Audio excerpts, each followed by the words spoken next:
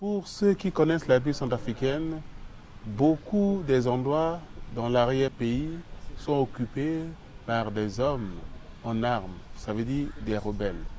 Donc c'est le cas de Bandoro où les Séléka qui avaient quitté Bangui ont replié et se trouvent dans ce lieu. Or, avec les derniers événements où les gens s'étaient retrouvés autour de l'évêché de Kaka Bandoro, on était venu piller, on était venu brûler, tout détruire. Les gens ont fui pour se retrouver sur le site où il y a la MINUSCA. C'est voilà pourquoi les gens se retrouvent là-bas dans un dénuement de pauvreté totale. Et là, ils sont à la merci de n'importe qui qui peut venir pour leur euh, ôter la vie, encore les piller, les menacer, les violenter, les violer aussi, euh, pour euh, certains. Donc la situation de ces rebelles ou bien des populations qui se retrouvent sur ce site-là, vous pouvez les trouver à, Bambari, où les gens ont fui des villes entières. Il y a huit sites et ils sont là dans un site de fortune. À Bangui, nous avons eu aussi des cas similaires, mais progressivement les choses changent. Donc la société Bambari et de Bandoro est un exemple pour montrer qu'il y a des endroits où nous avons des Centrafricains qui n'ont pas accès à des maisons, ni à de l'eau potable, ou à des, habits et tout, mais qui sont vraiment dans une pauvreté totale. Dans ces endroits où les forces hangaristes étaient, évidemment, les rebelles étaient là. Mais c'était des chats et souris. Ils étaient là, ils n'arrivaient, ils n'intervenaient pas. Et comme les Sangaris sont partis, la nature horreur du vide, beaucoup ont occupé l'espace. Et maintenant, la population est livrée à elle-même. Ce qui veut dire que la présence des forces onusiennes ou sangaris qui étaient là pouvait quand même apporter de l'espoir.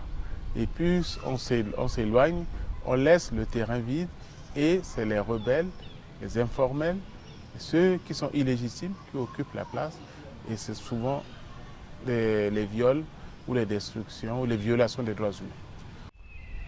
La République centrafricaine est un seul pays et le premier président Boganda avait parlé de l'unité.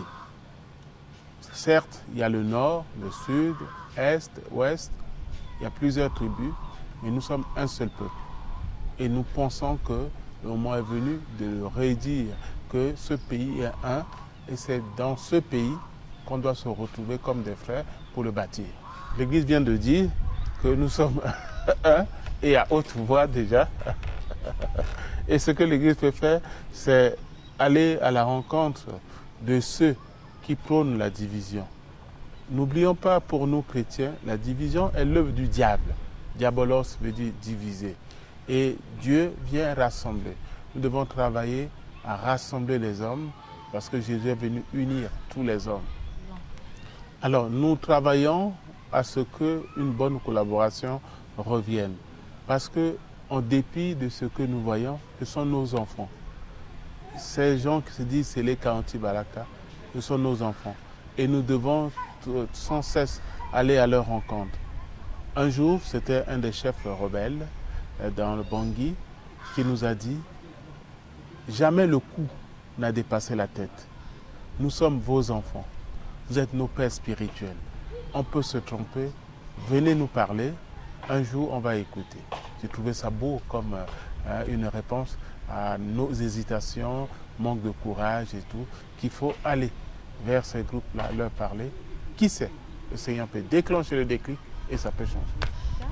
Alors, nous avons l'imam Kobin avec, à travers les, les, imams qui sont dans ces euh, villes-là, à Bandoro et Obambari, qui a des contacts et qui, les, qui leur parle pour les inviter à penser à la grande communauté musulmane.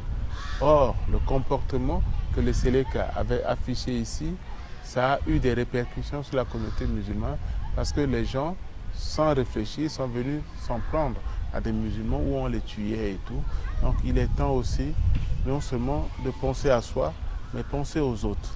La communauté internationale doit aider les Centrafricains à se retrouver pour se parler, trouver des solutions à leurs problèmes.